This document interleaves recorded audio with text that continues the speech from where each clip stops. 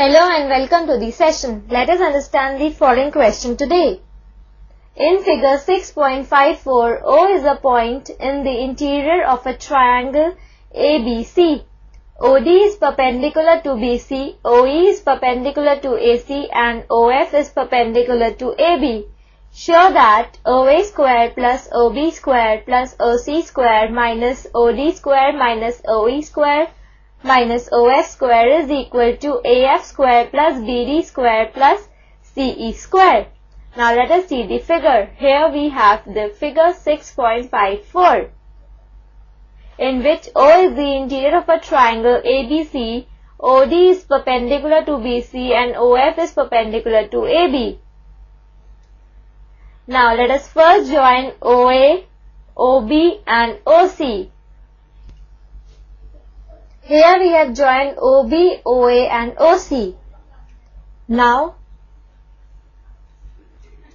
triangle OFA is a right angle triangle.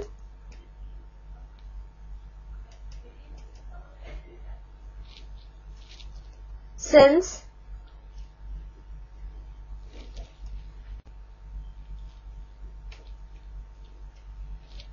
OF is perpendicular to AB.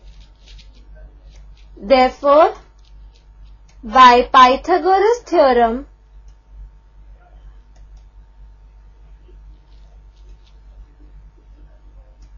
OA square is equal to AF square plus OF square.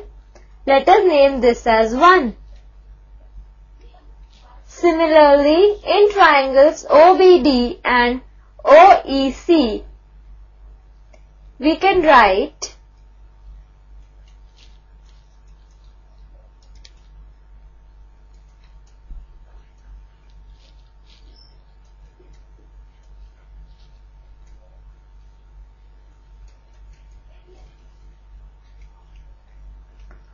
OB square is equal to BD square plus OD square.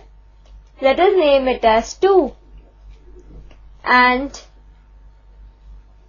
OC square is equal to CE square plus OE square. Let us name it as 3. Now, adding 1, 2 and 3, we get, it implies OA square plus OB square plus OC square is equal to AF square plus OF square plus BD square plus OD square plus CE square plus OE square. That is, which implies OA square plus OB square plus OC square taking my OD, OF and OE on left hand side we get minus OD square minus OE square minus OF square is equal to AF square plus BD square plus CE square and this is our required result. Hence proved. I hope you answered the question. Bye and have a nice day.